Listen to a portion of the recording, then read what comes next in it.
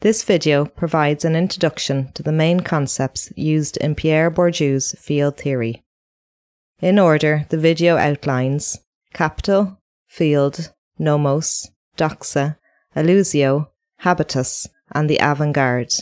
Use the links in the video's description to go directly to any of these sections. Capital Capital is any resource which can produce surplus value once set into a circuit of exchange.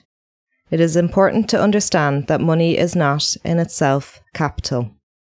If you earn 100 euro a day, but your daily costs are also 100 euro per day, this 100 euro is not capital. If, however, you earn 1000 euro a day and your daily costs are 100 euro a day, the excess 900 euro could become capital if, for example, you invested it in stocks or shares or in such a way that it could accumulate more money. Bourdieu applied this concept to immaterial resources, such as social connections and cultural knowledge.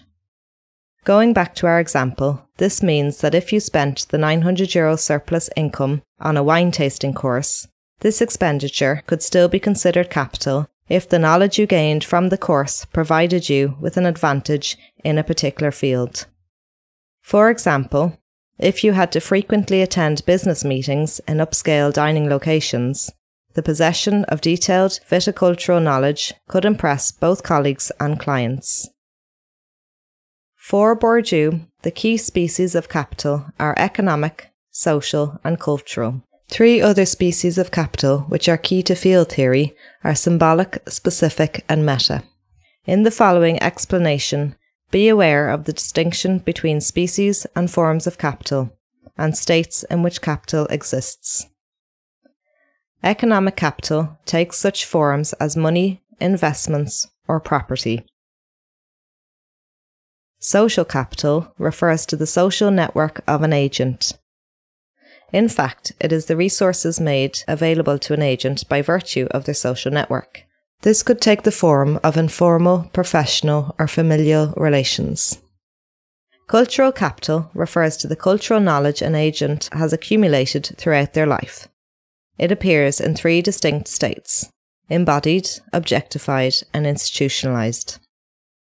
In an embodied state, it appears in forms such as knowledge, accent, dress, taste, and posture. In an objectified state, it is constituted in objects such as artworks, books, and furniture. For Bourdieu, artworks are particularly profitable forms of cultural capital because the specialized knowledge required to appreciate art is highly valued in Western cultures is very difficult to fake and is capable of generating reputation for people by virtue of the social distinctions this knowledge communicates. In its institutionalized state, cultural capital appears in forms such as certificates, university degrees, qualifications, and awards. In this way, it takes on an objective value. As such, documents like university degrees perform a function for cultural capital analogous to the function which money plays for economic capital. Symbolic capital is the resource of reputation that a person can use to gain advantages in different contexts. It can also be thought of as prestige, glory, or renown. Unlike economic, social, and cultural capital, it is not a distinct species of capital. It is the symbolic value that an agent's possession of these species gains for them once the possession is recognized by other agents. This recognition of an agent's symbolic capital is actually a misrecognition because the process of recognition involves attributing the symbolic capital possessed by an agent directly to that agent, thereby failing to properly account for the arbitrary means by which that agent accumulated those species. For example, if an agent is born into a wealthy family, they might have access to resources which can be invested in stocks, producing yet more money. They also have access to resources that can be invested in an expensive education at an elite university, where they might make contacts that could be valuable in the future. Within different fields, such as art, science, or the broader field of society in general, the value of these forms of capital are misrecognized as being essential to the agent when, in fact, their accumulation is largely arbitrary. This misconception is based, firstly, on an inability to recognize that people's accumulation of capital is primarily based on their existing possession of capital, mainly economic capital. Secondly, it is based on an inability to recognize non economic forms of capital. And thirdly, on the different value that different forms of capital are given in different fields. Specific capital is the term given to any species or form of capital which is specifically valued in a particular field. For example, a knowledge of philosophy is specific capital in the field of contemporary art. Having served time in prison is a form of specific capital in the field of organised crime, and having social connections to famous sports people is specific capital in the field of sports journalism. Fields Fields can be understood as the social and professional contexts in which agents operate and in which they are hierarchically positioned. A field can be viewed as any context in which agents compete for reputation. Society is a field, education is a field, and birdwatching is a field. Different forms of capital are valued differently in different fields. For example, Political capital is specific to the political field, artistic capital to the artistic field, and economic capital to the economic field. Fields are never completely autonomous from each other and are structured by their relation to other fields, primarily the field of power. The fields of economy and politics taken together constitute the field of power. This is because these fields have direct effects on every other field. For example, within the artistic field, particular styles or approaches acquire positions because of activities in the political field, such as the commissioning of apolitical paintings for public buildings. Moreover, national budgets for art and culture are determined in the political field. In the economic field, a financial crash can affect the value of artworks, cause the closure of galleries, and affect the systems of public art funding. Also, financial investment in a particular style of art can have determining effects on the types of art producers choose to make. Following this logic, the fields of politics and economy are said to possess meta-capital. Meta-capital is the power to affect the value of different forms of capital within a field and across different fields, and thereby influence the relative value of different fields within society. The field of media has also been proposed as a field which possesses meta-capital. To illustrate these field relations, in looking at a map of the literary field, we can see that it is positioned in connection to the field of power and that both are positioned within the broader field of society. The positions of agents in a field is structured according to the amount and type of economic and cultural capital they possess. These are the axes of fields. Within cultural fields, these axes correspond to two subfields. A field of restricted production, oriented to accumulating cultural capital and to producing for a restricted audience, and a field of large scale production oriented to accumulating economic capital and to producing for a broader audience. It is better to think of cultural capital as specific capital because different forms of cultural capital are specific to different fields. The value of cultural capital is relative. Nomos Nomos is the term Bourdieu gives to the field-specific norms which regulate the actions of agents in a field. They are typically unspoken but universally understood by all agents in a field. These field-specific norms are the historical products of struggles within fields. In particular, they are the product of struggles over which forms of capital the field should value. So, for example, in 19th century France, when Courbet used the daily lives of peasants as subject matter in his paintings, he proposed a new vision of what should be considered valuable in the field. This vision conflicted with the existing nomos of the Academy, which, for a variety of reasons, preferred the subject matter of romantic art. Changes to the nomos of a field typically originate in its avant garde region. I just referred to nomos as corresponding to a particular perspective of the field. Bourdieu sees such perspectives as grounded in principles of vision and division. Nomos involves principles of vision in that it proposes a particular vision of the world as the legitimate vision. It involves principles of division in that this vision of the world is based on dividing groups, individuals, objects, or practices into categories, that is, into hierarchical relations. An example of vision and division in the field of contemporary painting can be seen in the modern repudiation of paintings which uncritically represent women as objects of desire. This practice, once common for centuries, is now deemed chauvinist and guilty of representing the world according to the male gaze. A negative opinion of contemporary paintings which follow in this tradition is generally accepted within the field. The division then occurs when such contemporary painters, perhaps not understanding this vision or perhaps rebelling against it, produce such paintings anyway. These painters are then divided from other painters by virtue of their non adherence to the nomos of the field. They are classified as a subordinate class of painter, one who is naive, ignorant, rebellious, or misguided. One of the most dominant principles of vision and division in society is social class, Class relations maintain the status of objective social and cultural relations when in fact they are largely the arbitrary result of pre-existing economic relations. Doxa Another dynamic that structures a field is doxa. Doxa refers to the underlying and unquestioned opinions, beliefs, and assumptions which are commonly held in a field. In Jensen's words, doxa is the state when the socially constructed is perceived as the natural order and therefore accepted. Doxa supports the classifications and power relations within a field. To give an example, in the field of Irish education in the 1960s, the belief that corporal punishment was moral and productive was doxic. It was presumed to be true. Equally, in the contemporary field of Irish education, the belief that corporal punishment is immoral and unproductive is doxic. Doxa are the beliefs which it is necessary to unreflectively hold in order to be active in the field. Illusio A third dynamic, not to be confused with nomos or doxa, is illusio. Illusio is the belief held by all agents in a field that the rewards of that field actually have any value. Effectively, the collective competition for specific capital in the field generates a belief in the value of that capital. The following is an example of illusio.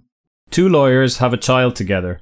When their son is old enough to attend university, they advise him to study medicine, law, or accountancy, believing in the value of these professional fields. But they are disappointed to learn that their child has no interest in such professions and wants to pursue a vocation in contemporary dance. Their disagreement with their child involves differences in their illusio. Their child believes in the value that the field of contemporary dance has to offer, be that self expression, creative self development, or simply the experience of dancing. The child's parents do not value these rewards so highly, if at all, valuing instead the income, job satisfaction, and social status that professional fields can offer. For those beyond the doxic effect of a field, the value it offers can appear illusionary. Habitus Habitus is Bourdieu's most important concept.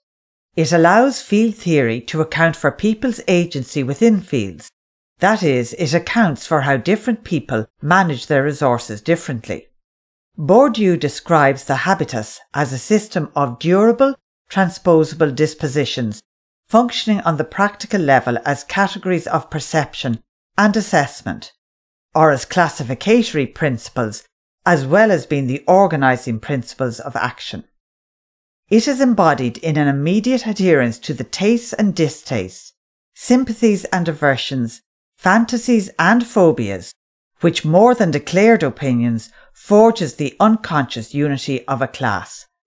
The habitus of a person is most simply understood as the dispositions they have accumulated throughout their life.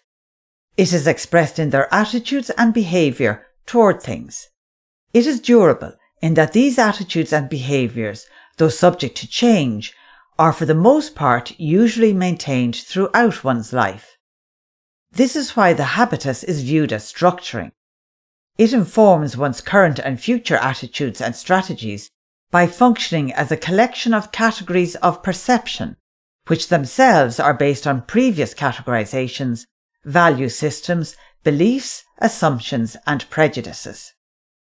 It is also structuring because these dispositions, through agents' activities, affect the fields in which they operate. It is transposable in that a habitus adapted to one field is, to greater and lesser extents, suitable to and productive in other fields. It is also transposable because its constituent elements, for example, an interest in painting, can determine subsequent elements, such as an interest in photography. Dispositions give rise to other dispositions, and there is a somewhat systematic correlation between these dispositions and an agent's economic class.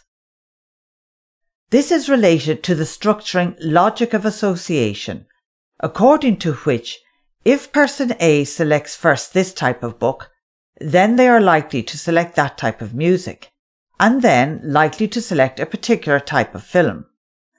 Equally, there exists a logic of difference, whereby person A selects a book because it is not what person B would select. For Bourdieu, these strategies of distinction are instrumental in the symbolic domination of lower classes by higher classes. They primarily emerge in parallel with the societal distribution of inherited economic capital and serve to reproduce these economic distinctions through cultural practices. This logic of difference reveals the determination of agents' taste by cultural norms, even in cases of radical nonconformity. As Bourdieu points out, personal style is never more than a deviation in relation to a style of a period or class, so that it relates back to the common style, not only by its conformity, but also by its difference. For example, for punks in the 1970s, torn jeans functioned as a symbol of their deviation from societal norms. This deviation related back to the common style because the practice of wearing jeans, ripped or otherwise, conformed to a cultural norm, a pre-established style. The deviation related back to the common style in terms of difference because the way in which it sought to be different had to make reference to the common style. This reference, though made in defiance, is a recognition of the common style and of its dominance. This recognition reproduces this dominance and therefore such deviations typically do little to affect it. This reproduction of symbolic domination occurs because such deviations typically do not attempt to overthrow the hierarchical category of styles. They simply seek a place within it, thus reinforcing the legitimacy of that hierarchy, a legitimacy on which their symbolic domination is based. Bourdieu distinguishes between the primary habitus and the secondary habitus. The primary habitus is the system of dispositions one embodies through socialization in the family environment during childhood. It is rather stable and reflects the different positions people have in society. The secondary habitus is built on the primary habitus and especially results from one's education in school and university, but also from other life experiences. More precisely, the secondary habitus is developed through an agent's experience of fields during adulthood. As the habitus organizes principles of action, it affects how an agent behaves in different fields, though these fields also affect the development of that agent's habitus. Relatedly, there is always a foundational correlation, or in Bourdieu's terms, a homology, between an agent's habitus, their possession of capital, and their position in a field. In fact, the habitus is somewhat analogous to embodied cultural capital. As Grenfell states, the acquisition of embodied cultural capital is identical to the formation of the habitus. As there is a correlation between an agent's attitudes toward things and the fields in which they operate, particular habitus are suited to particular fields.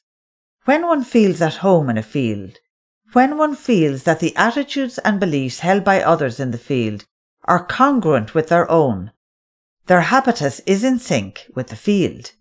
They are like a fish in water.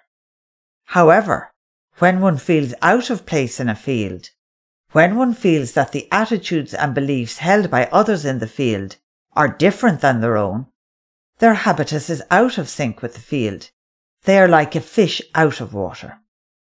This dissonance between one's habitus and the field is often experienced by agents whose practices are not up to date with developments in the field. This time lag between an agent's habitus and the field is called hysteresis. It is often experienced by agents within the avant garde and can be a catalyst for change within fields.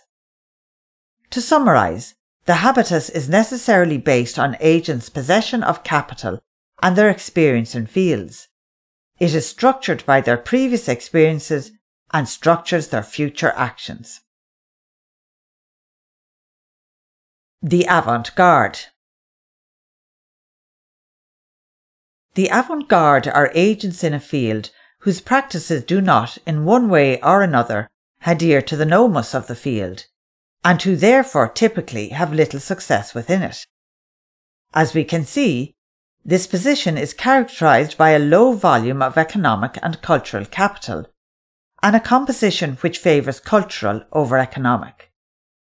If, however, these agents manage to gain recognition for their practices within the field, that is, if they manage to overturn the nomos so that their transgressive practices are recognized as legitimate, they can become members of the consecrated avant-garde. The consecrated avant-garde are agents whose practices, though once seen as transgressing the nomos of the field, are now accepted. Importantly, the avant-garde can only be constituted when they become consecrated, and therefore when they are no longer members of the real avant-garde.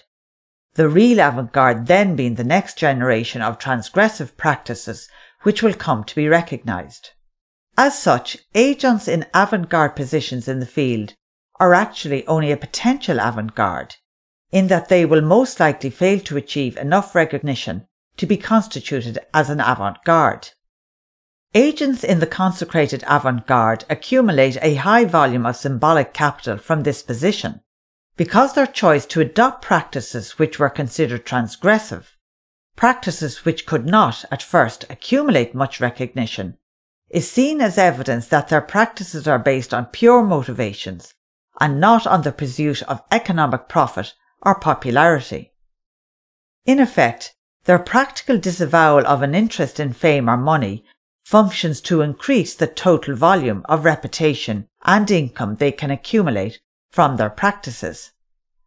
For Bourdieu, symbolic capital always functions as an untransubstantiated form of economic capital.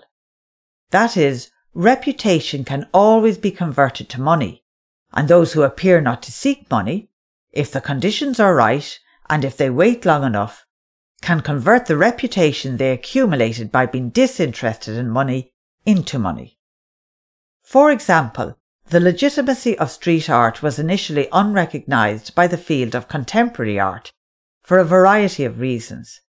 At that time, there was an anonymous street artist who seemed not to care about recognition in the field or about making money. This artist appeared only to care about expressing his political opinions and about the development of his art form. But in time, largely because of this artist, street art came to be recognised in the field of contemporary art. At that point, in the field of contemporary art, this artist moved from a position in the avant-garde to the consecrated avant-garde. He then promptly began to accumulate symbolic capital in the field through a series of exhibitions in prestigious institutions. Furthermore, he began to convert that symbolic capital into money through the sale of screen printed versions of his work in prestigious galleries. By reproducing street art in a commodity form and by actively seeking the rewards of the economically wealthy region of the field, that artist publicly recognized the value of economic capital, thereby legitimating the hierarchical relationships that economic capital institute in the field. Within fields, the consecrated avant-garde functions to legitimate the status quo and thereby ensure its reproduction. However, it is important not to reduce the motivations of the consecrated avant-garde to an interest in popularity and economic capital, as these are in many cases byproducts and not motivations. The rear guard is composed of artists from former generations of the consecrated avant garde who have been canonized within art history and whose symbolic capital is therefore beyond question. As such, the prices their works fetch in the art market are very stable. In the field of art, artists such as Rembrandt are members of the rear guard. I would like to conclude by pointing out that these explanations are simplified and partial and are only intended as an introduction to the main concepts used in field theory. Here are some useful references for those interested in learning more.